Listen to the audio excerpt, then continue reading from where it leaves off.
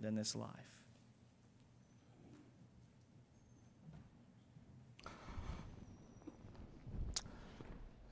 In the year 2000, the hit movie Remember the Titans came out.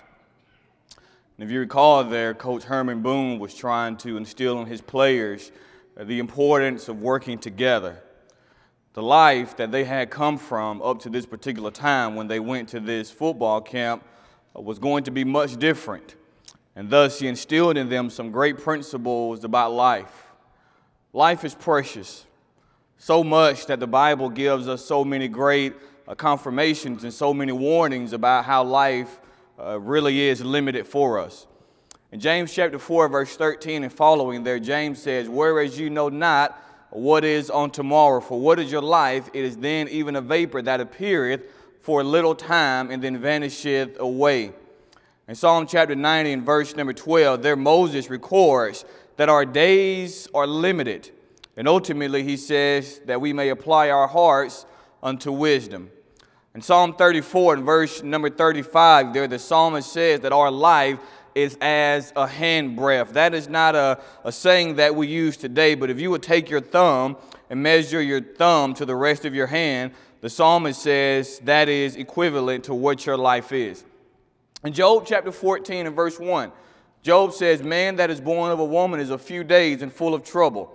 In the very same chapter, Job says, Yea, man dieth and wasteth away, he giveth up the ghost, and where is he? The Bible teaches us so plainly and so clearly that life is short. And because life is short, because we don't have as much time as we think we have, we should get our hearts and mind ready for eternity. If you remember in 1 Thessalonians chapter 4, verse 13 and following there, of course, the saints, Paul there lets us know how they were worried about the death of their loved one. And Paul again goes into that account there. And then in verse number 18 of that chapter, Paul would say, Wherefore comfort one another with these words. There's something special about the idea of heaven.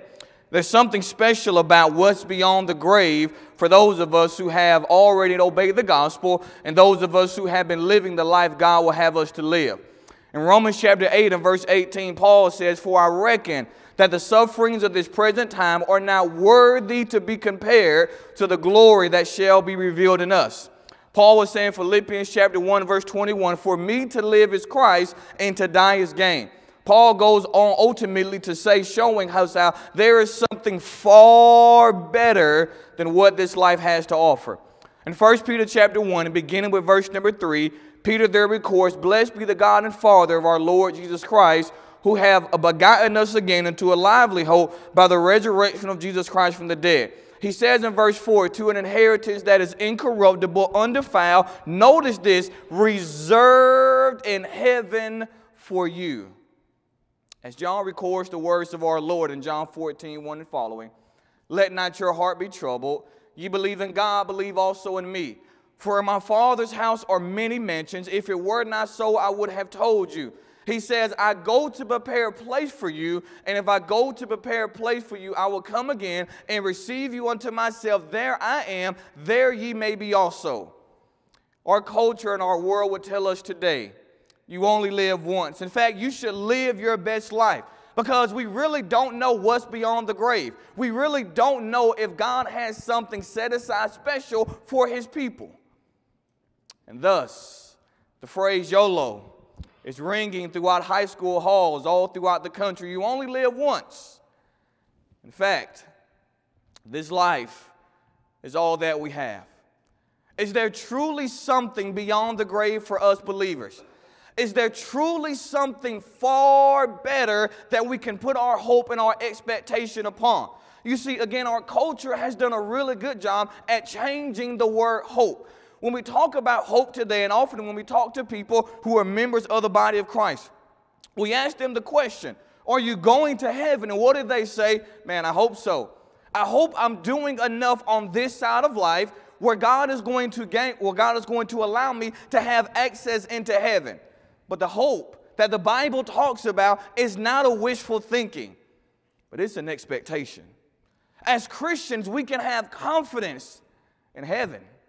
We can have confidence that there truly is something that is greater than this life. The Bible teaches us from Genesis all the way to Revelation about the importance on how God values life. If you remember in Genesis chapter 2, the Bible there says, God breathed into man's nostrils the breath of life, and that individual, that clump of dirt more or less, it became a living soul, a moving and an actual human being. And then in that very same chapter in Genesis 2, God says, It's not good for man to be alone, so let me make someone suitable for him. God values life. Life is so precious. And yet we have people in our world today. They throw their lives away. They do everything they can to get all the pressures and all the pleasures this life have to offer. But those things are not the end. If you remember in Hebrews chapter 11 and verse 24 and following there, the Bible speaking of Moses. The Bible says, By faith, Moses, when he was come to years, refused to be called the sons of Pharaoh's daughter. Why is that? Choosing rather to suffer affliction with the people of God than to enjoy the pleasures of sin that were only going to last for a season. Yes, God did create this earth for our good pleasure, but this was never going to be the end. This was never going to be our stopping place. But heaven was always in the mind of God. The church, as Paul talks about in Ephesians chapter 3, 8 to verse number 11, it was in the eternal mind of God before Genesis 1 verse 1 ever was written, before Moses ever penned that by inspiration. The church in heaven was always going to be the plan. Is there really something better than this life? Of all the things this life has to give us our family members, our friends, our loved ones, our jobs, our homes. Is there really something better than this life has to offer? I want to share with you this afternoon four points. And I hope, trust, and I pray that these four points will be beneficial for all of us in our walk with the Lord this afternoon. We invite you to turn your Bibles to Hebrews chapter 11. And as you're turning your Bible there, of course, the book of Hebrews, the Hebrews writer is encouraging many of these saints, if not all of these saints, to not go back to Judaism. There was so much pressure from without and from within to be like everyone else. And thus the Hebrews writer is running them, encouraging them not to go back. Why is that? Hebrews chapter 1, verse 1 and following, God who has sundry times and in divers manners spake in times past unto the fathers by the prophets, having these last days spoken unto us by his Son. What is the Hebrews writer showing us in this first chapter? That Jesus is better. Jesus is better than Moses. Jesus is better than the angels. Jesus is better than, every, than anything this world has ever seen. You're going to find that word better some 13 times throughout the book of Hebrews. And he's showing us that Jesus is just simply better. Jesus. There is no rival, there is no equal. He's better than anything we can come up with our own mind and by our own ingenuity. And so in Hebrews chapter 11, the Hebrews writer here gives us four things, hopefully, that can help us answer this question. Again, the question that has been presented to us is you believe what? You believe that there is something better than this life. The unbeliever, the person who hasn't come to know the truth of the gospel, the person who is still living in the world, they don't know what we know. And thus they're asking the question how can you say that there's something beyond the grave? How can you say that there is something greater than this life? Life must be treating you bad. No, my friends, life is treating me great. And I'm looking forward to the day that I can be with my Savior for all eternity. In Hebrews chapter 11 and verse number 1, let's notice our first, first point this afternoon. Why do you believe that there is something better than this life? Number one, this afternoon, it is simply because I have faith. In Hebrews 11 and verse 1, the Bible there says, Now faith is the substance of things hoped for, it's the evidence of things not seen. For by it, verse 2, the elders attained a good report. The Hebrews writer says in verse 3 By faith we understand that the worlds were framed by the word of God. So those things which are seen were not made of those things which do appear. Verse 4 he says, By faith Abel offered unto God a more excellent sacrifice than Cain. By the which he obtained witness that he was righteous, God testifying of his gifts, and by it he being dead yet speaketh. Verse 5 he says, By faith Enoch was translated that he should not see death. For before his translation, he had this testimony that pleased God. In verse number six, he says, But without faith, it's impossible to please God, for he that cometh to God must believe that he is, and that he's a and that he is a rewarder of those that diligently seek him. And then in verse number seven, he says, By faith Noah, being warned of God of things not seen as yet, he moved with fear, prepared an ark for the saving of his house, by the which he became the heir of righteousness, which is by faith. The Hebrews writer is showing us the reason we can know that there is something far greater than this life is because of the faith we have. You see, friends, faith is the key that unlocks the door, spiritually speaking, to the kingdom of God. Faith is the fuel that we put in our cars that will allow us to drive, spiritually speaking, into eternity. Again, the Hebrews writer says in verse 1 faith is the substance, it is the foundation of things hoped for and the evidence of things not seen. In 1 Corinthians chapter 10, 1 Corinthians 3 rather, verse 10 and following, there Paul says to the brethren at Corinth, according to the grace of God which is given unto me as the great builder. He says, I have laid the foundation and another builder thereon. He says in verse number 11, but let every man take heed how he builds thereon. Why? For other foundation can no man lay than that which is laid, that being Jesus Christ. The reason why many in the world are not convinced that there is something greater than this life is because their foundation is broken. Their foundation is solid and thus, they don't have the answer to the question why is there something better than this life?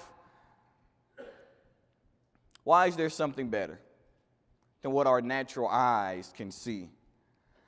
You see, our world has done a really good job again at convincing us how faith is something we need to be able to see so much that if I can physically put my hands on it, if it's something that's not tangible, I can't have any faith into it. Friends, brethren, hear me well. I've never been to heaven, but I know it's real because I have faith.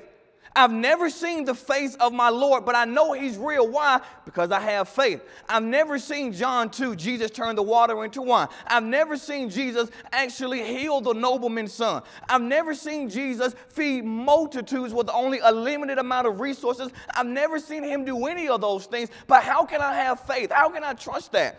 I'm not trusting not just the event that happened, but I'm trusting the one who made the event happen. I'm putting my trust and my confidence and my faith in the one who framed the worlds by just speaking things into existence. I'm being asked to trust He who is all knowing, He who is all powerful. I'm being asked to put my faith in someone's foundation who is not solid or who is not broken. If you remember this morning, Brother Grinder used a verse there, Matthew chapter 7 and verse number 24 and following there. Of course, there Jesus gives us the great Sermon on the Mount. But in Matthew chapter 7 and verse 24 and following, Jesus there is now going to talk about these two great foundations. Jesus says in Matthew 7 and verse number 24, Therefore, whosoever heareth these sayings of mine and doeth them, I will liken him unto a wise man which built his house upon the rock. The rains descended, the floods came, the winds blew and beat upon that house, and it fell not. Why? Because it was founded upon a rock.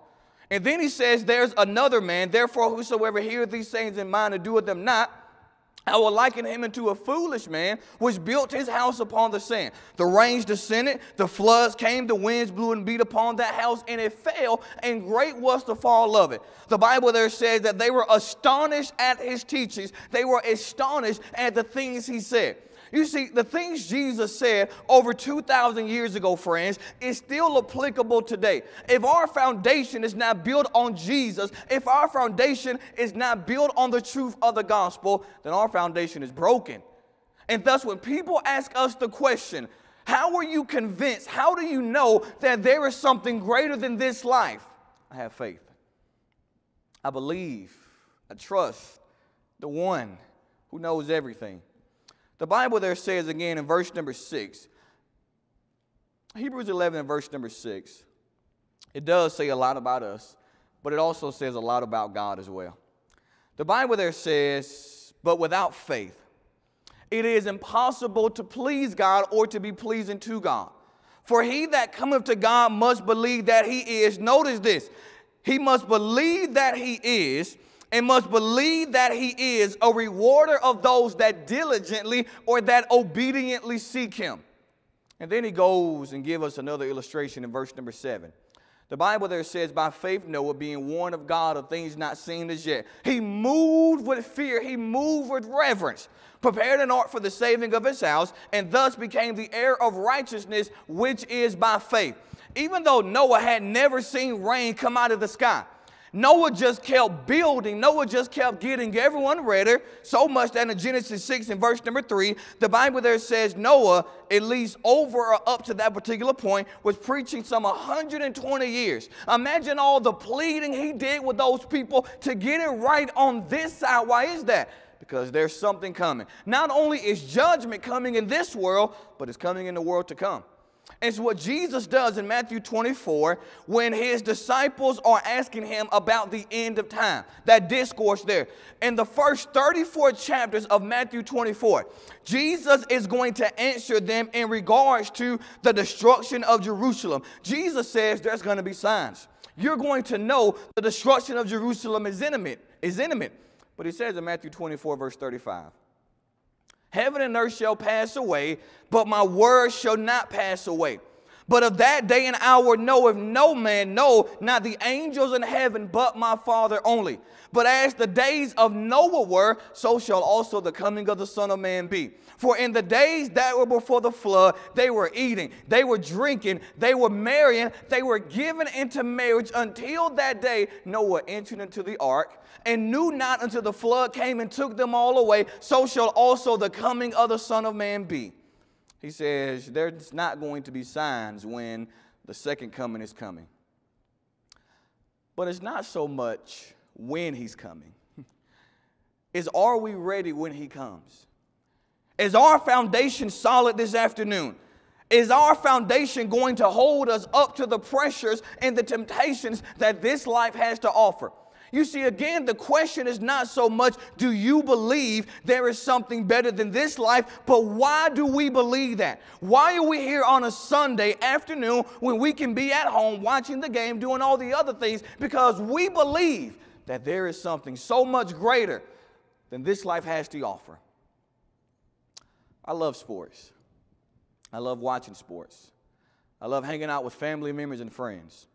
But my favorite thing to do is being around those of like precious faith. Being able to offer songs up to God. Being able to take a part of the communion every first day of the week. Being able to give of our means, being able to hear the gospel of Jesus Christ preached so we can invigor and ignite my soul so I can go out and help others and try to convince them. Man, judgment is coming. This world is not everything that it has. There's something greater uh, than this world. If you remember in Luke chapter 16, verse 19 and following, the Bible there gives us the account of the rich man and Lazarus. And in Luke chapter 16 and verse number 19, the Bible there says, There was a certain rich man that was clothed in purple and fine linen, and he fared sumptuously every day. And there was a beggar named Lazarus, which laid at the rich man's gate full of sores. The Bible there says, and desiring, that's the Greek word he was longing for, and desiring to be fed with the crumbs that fell from the rich man's table. Moreover, the dogs came and licked his sores. Here it is, and it came to pass that when the beggar died, he was carried by the angels into Abraham's bosom. The rich man also died and was buried. Luke 16, verse 19 the Bible there says, In hell he lifted up his eyes. Hades better translate there. And in hell he lifted up his eyes, being in torment, and he see Lazarus afar off and Abraham in his bosom. And he said, Father Abraham, have mercy on me. Send Lazarus, here it is, that he may dip the tip of his finger in water and cool my tongue, for I am tormented in these flames. The Bible ultimately says that there is a great gulf fixed. And then he says, Send him back. Send me back. I have five brothers that he may testify unto them, lest they also come into this place of torment.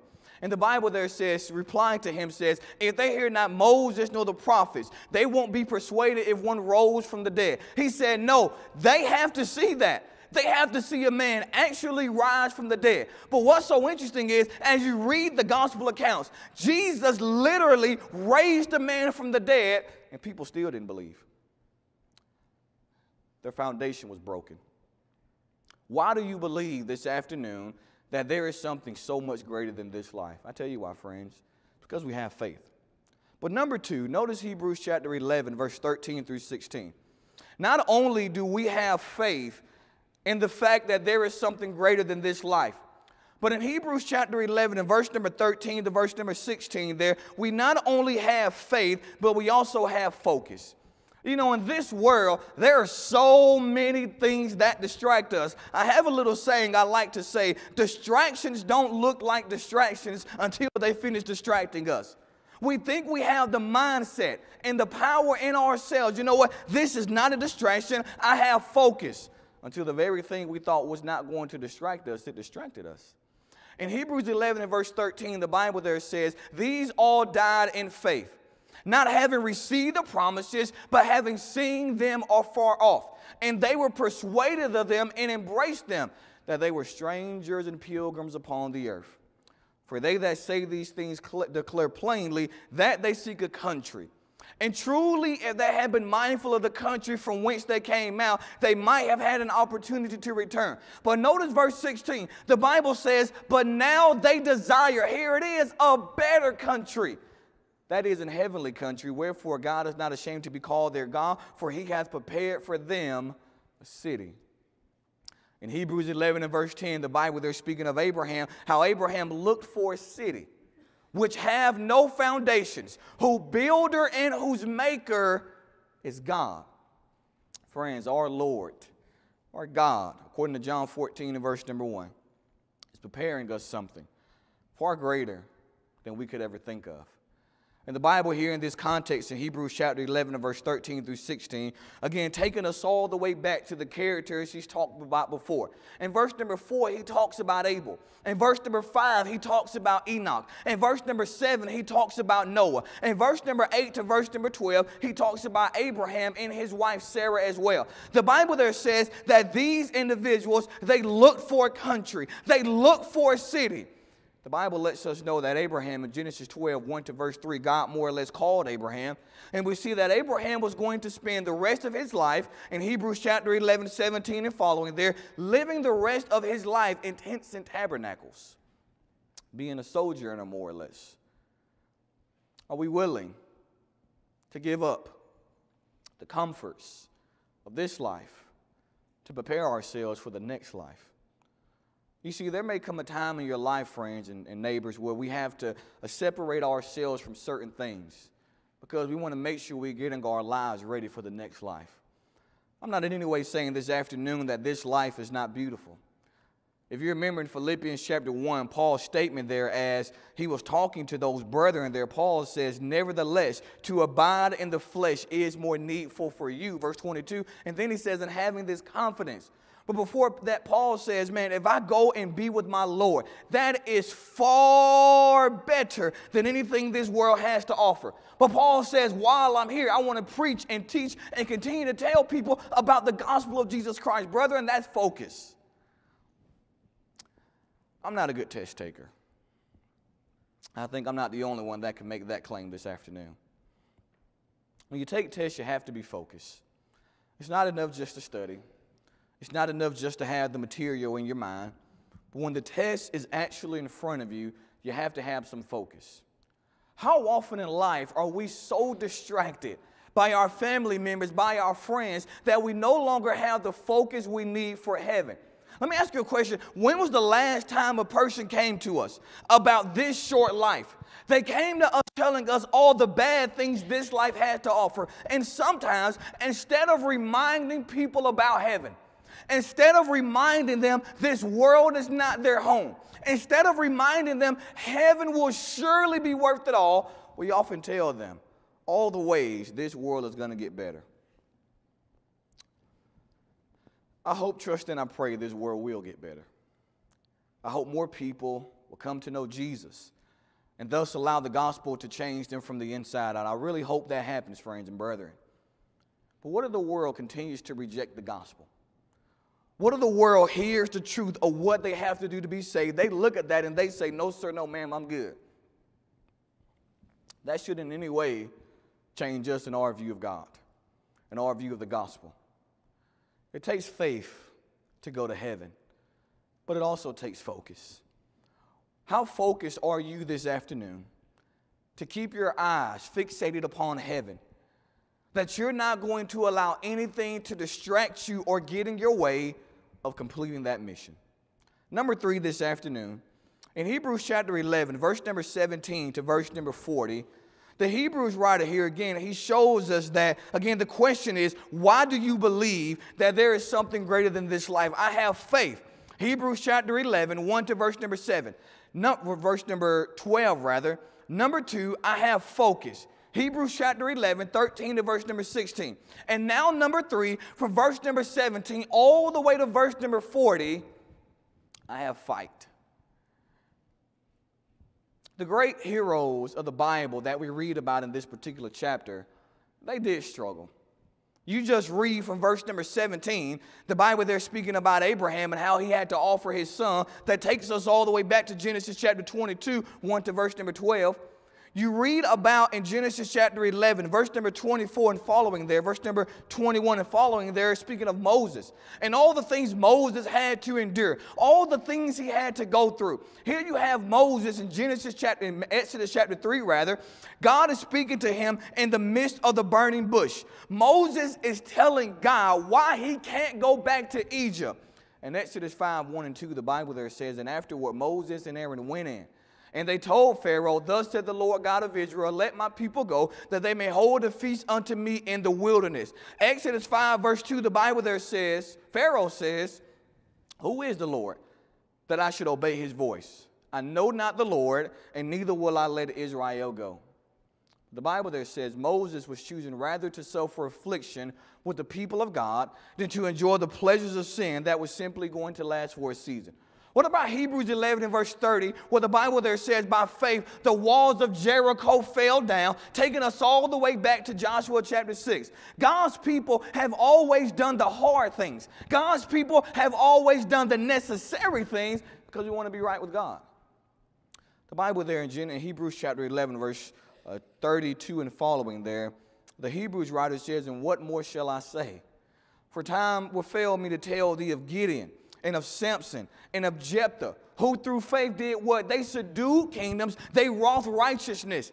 And then the Bible there is going to get into one of my favorite characters, that being David. Friends, you don't think in 1 Samuel chapter 17, when Saul and the, all the brothers of David, here they are fearful and afraid because the big bad giant Goliath has come knocking on their door. David said, I fought lions, I fought targets, and I fought bears. David said more or less, Goliath is just the next man on the list. David said, Who is this uncircumcised Philistine that he should defy the armies of the living God? And too often in life, instead of telling, instead of telling our problems how great God is, we tell God how great our problems are. You know, friends, all trials come in one size smaller than God. Life is hard, it's tough. But do you really want to go to heaven? The songwriter asked the question Don't you want to go to that land? This world is not my home. We're marching to Zion. When we all get to heaven, what a day of rejoicing that will be. But it takes some fight to get there. It takes some focus. And also takes some faith. Number four this afternoon, in Hebrews chapter 12, verse 1 to verse number 3, before we make some application, in Hebrews 12 and verse number 1, the Bible there says, Seeing we are compassed with so great a cloud of witnesses, let us lay aside every weight and sin which does so easily beset us and let us run with patience the race that has been set before us, looking unto Jesus as the author and finisher of our faith. Who for the joy that was set before him, he endured the cross, he despised the shame, and right now he is sat down at the right hand of the majesty on high. I have faith. I have focus. I have fight. But I also have to finish. Growing up, I really appreciated runners and how long, not sprinters, but runners, and the dedication and the commitment they had to run for as long as they did. You, re- you read and you watch people do marathons, and you see the commitment and the dedication they have of finishing. If you recall the uh, great marathon that takes place in Boston every year, I was reading an interview, an article rather, of a person that was doing an interview, a particular runner at that time. And the person simply said, My goal was to never win the race. My goal was to simply finish. How many Christians are so concerned about finishing first that they forget in this race you don't have to come in first? You just have to finish, friends. The Hebrews writer shows us these four important lessons for us this afternoon. Why do you believe that there is something better than this life? Why do you believe that God has something prepared for us on the other side?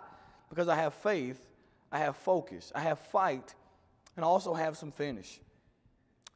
The Bible shows us from cover to cover what individuals look like in terms of them finishing the race. Let's notice a couple of passages of scripture. In 2 Timothy chapter 4, beginning with verse number 1. Of course, in 2 Timothy 3, verse 15, Paul says, And from a child that has known the Holy Scriptures, which is able to make, which is able to make thee wise unto salvation. He talks about how all scripture is breathed out by God. But in 2 Timothy 4, verse 1, Paul there says, I charge thee therefore before God and the Lord Jesus Christ, who shall judge the quick and the dead at his appearing in his kingdom. He says in verse 2, preach the word, be instant in season and out of season reprove, rebuke, and exhort with all long suffering and doctrine. For the time will come when they will not endure sound doctrine, but after their own lust shall they heap to themselves teachers having itching ears. They shall turn away their ears from the truth and shall be turned unto fables. But he says, But watch thou in all things, endure afflictions, do the working of evangelists, make full proof of thy ministry. Paul says, For I am now ready to be offered, and the time of my departure is at hand.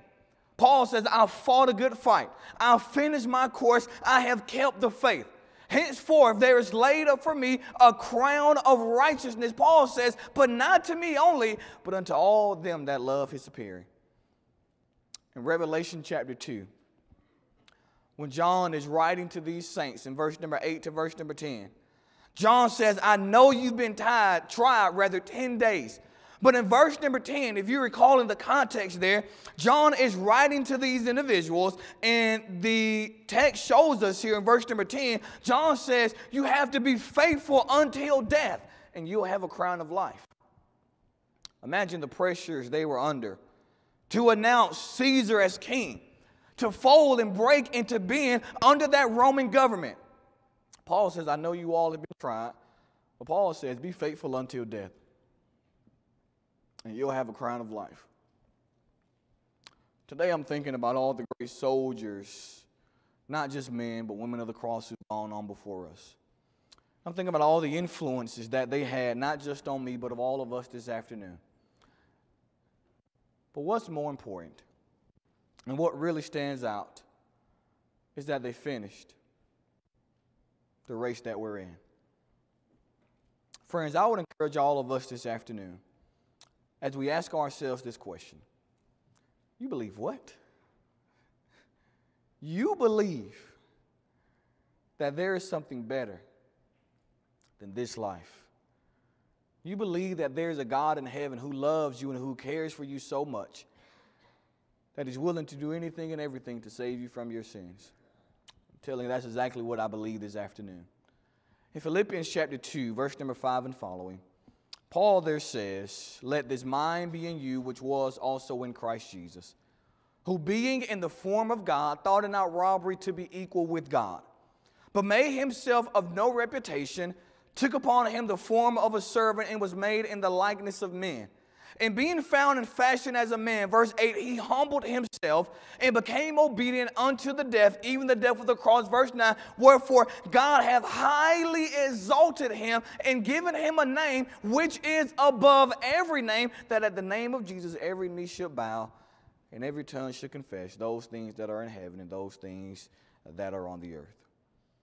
Ask yourself the question this afternoon why do I really believe that there is something better? Than what the Lord has in store for me on this side of life. I want to end our sermon this afternoon where we began. If you turn your Bibles to Romans chapter 8. In Romans chapter 8, there, Paul leaves us some encouraging words that I think are really, really fitting for us in our lesson this afternoon. Of course, in Romans chapter 7 and verse 21 and following there, Paul says, I find then a law. Another sermon for another day. Paul says, I find then a law that when I would do good, evil is present with me every day. For I delight in the law of God after the inward man, but I see another law in my members, warring against the law of my mind and bringing me into captivity. Verse number 24, he says, O wretched man that I am, rather. Chapter 8, verse number 1. There is therefore no condemnation to those that are in Christ Jesus, who walk not after the flesh, but after the Spirit. But in verse number 18, Paul says, For I reckon that the sufferings of this present world or time are not worthy to be compared to the glory that shall be revealed in us. Do you have faith this afternoon? Do you have focus? Do you have fight? I know it's tough. I know it's hard. I know you're tired. But are you willing to finish? Paul says, our last verse this afternoon, for the which cause we faint not. Though the outward man perish, yet the inward man is renewed day by day. For our light affliction, which is but for a moment, Paul says, it worketh for us a far more exceeding and eternal weight of glory. While we look not at the things which are seen, but at the things which are not seen. Paul says, For the things which are seen temporal, and the things which are not seen eternal. Chapter 5, verse 1 of 2 Corinthians, he says, For we know that if our earthly house of this tabernacle be dissolved, Listen to what he says. Highlight this in your Bible and also in your hearts.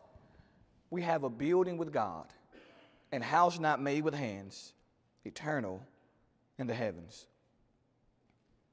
Do you believe, truly believe, really believe that there is something better than this life? I assure you this afternoon it is. But in order for you to be a beneficiary or to benefit, from the reservation that you have in heaven is you must become a member of the kingdom of God.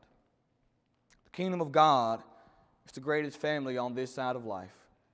And the great thing about the kingdom of God is we will always be family. And the Bible teaches us and it shows us how to become a member of that kingdom. You have to hear the word of God, Romans 10 17. You have to have faith, friends. Hebrews 11 and verse number 6. You have to be willing to repent change your life, change your mind, be a servant of Christ as opposed to a servant of sin. Confess with your mouth that Jesus is the Christ, the Son of God, and upon that confession, we'll have the privilege of immersing you in water for the forgiveness of your sins. You may say this afternoon, man, I'm already a member. What do I have to do to be right with God? I've been struggling. I've been allowing my foundation to be cracked and solid and broken. The Bible teaches us that if we confess our sins, He's faithful and just to forgive us, and He'll cleanse us from all unrighteousness.